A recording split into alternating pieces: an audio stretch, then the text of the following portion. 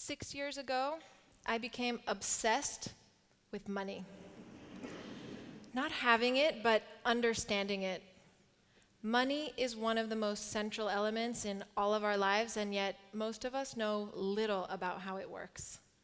It seemed to me you could trace almost every problem in society back to money or the lack of it.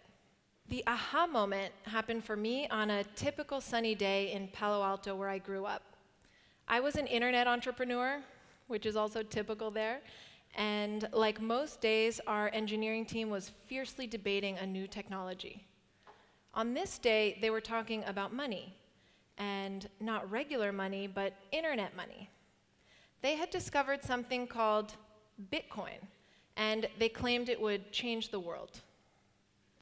The promise of Bitcoin and the technology behind it, called blockchain, was to allow us to safely send digital money over the public internet directly between us without any intermediary like a bank. You might think, like I did, that services like PayPal and online banking already let us send money online. And like I was, you'd be wrong because money doesn't actually move directly between us on the internet. It actually sits in closed, private networks owned by banks and governments. And every single time you send money, you are asking them permission, plus paying fees, to move money around in their systems. There used to be a good reason for this because the value stored in money is very different than the kinds of information we're used to sharing online. You see, information like text, video, images can exist in many places at once. When you send it to someone, you and they now have it. With value, it can exist in only one place at one time. When you give money to someone, you no longer have it. With money, it's essential to know that you're not getting a copy. And no one had yet figured out how to secure an open network like the internet in such a way that would guarantee that our money could not be changed, copied, or duplicated. Until now. For someone who grew up in the Silicon Valley, watching the internet change our world, this was a really big deal. And here's why. Think about how information moved before the internet. You needed to ask permission of a newspaper or a cable station in order to broadcast your opinion. The internet let anyone share any idea instantly and cheaply directly between us. And the information revolution completely changed our society. Now, anyone with a laptop could topple a government or sway an election. And that was just through sharing the ideas stored in information. What would it mean for the value stored in money? This new technology, blockchain, was creating an internet of money that would allow us to transact freely directly between us without asking permission or paying gatekeepers the implications for society of having an open global network for the free exchange of money between people are as big as the internet. So, what is blockchain? Well, it's pretty technical and challenging to describe, so I'll give you an image that worked well for me. Imagine a magical book. Anyone who wants can get a copy of this book for free. And what's magic about it is that anyone can add lines of text to the book, and those lines will automatically appear in everyone's copy. Now imagine that those lines aren't just text, but transaction records.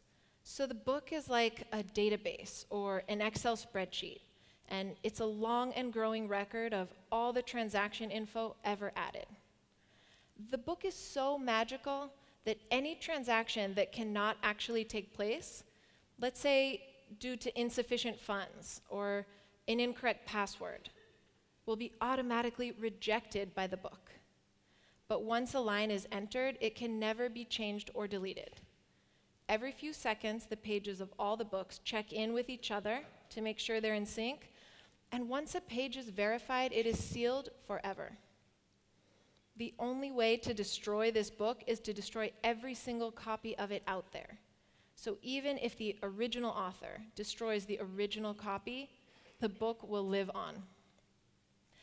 This is similar to how blockchain works, and its power is in allowing a network to operate reliably without the need for a central point of control. It does this by stringing computers into a network so that together they're in charge of running and securing the system. And it allows users to place their trust not in magic, but in a transparent algorithm that reliably logs and transfers value from one place to another with no central control. It's kind of like a Google Doc with no Google. No one can shut it down or change the terms of service. It's completely decentralized. And the magic is math. Bitcoin was the first decentralized currency built on blockchain technology. It was the revolutionary spark that inspired thousands of entrepreneurs like me to think about a world without a monopoly on the transfer of value between people. Today, there are $15 billion stored in Bitcoin, and some think it will grow a hundredfold in the coming decade. That's a lot of value stored in money that's not issued or controlled by anyone. This is the first ever people's money online, and it's just the beginning. Today, there are over 700 cryptocurrencies already on the market and counting. And a new generation of blockchain technology lets us customize money in even more sophisticated ways. Imagine a currency that pays its own taxes so you don't have to file at the end of the year. Imagine a currency that automatically gives discounts to certain citizens at the moment of purchase. So veterans or seniors wouldn't have to chase down their benefits. What if Tel Aviv could issue its own currency to people who are helping make the city better in creative ways? And you could use that money anywhere. A few years ago, my team and I tested this concept by creating our own local currencies. One of our most successful projects was called Lev Market, and it let mothers here in Israel use a currency called hearts to purchase goods and services from each other in a trusted marketplace. Within a year, we saw over $10 million worth of commerce in this community.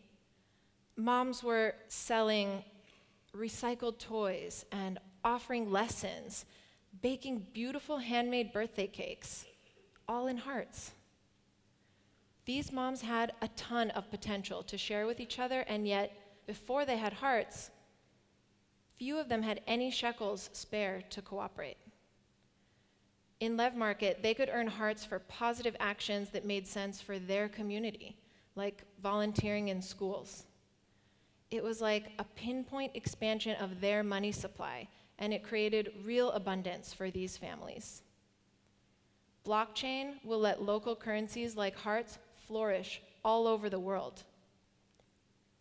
We can create a much smarter money supply, money that's custom made to meet our changing and diverse needs, money that catches up to the complexity of our modern economy and that reflects our modern values. And blockchain goes further than money. Remember how we said that its power is in allowing a network to operate reliably without a central point of control? Think about the other services in our lives beyond money that are also controlled centrally. What would a social network look like without a company in the center, keeping all the profit that's generated from our content and comments? What would a news network look like without a media company in the center, beholden to shareholders and politicians? What would a digital cloud look like without servers in the center, but only all of our computers strung together? These projects and so many more are already underway on the blockchain, and they fundamentally change how we pool and share our resources. Blockchain decentralizes control which helps us shift society from a pyramid with limited room at the top to a web with more access to opportunity and more consensus on what is valuable. Economic freedom is the next great challenge of our time, and we'll call it the value revolution. Thank you.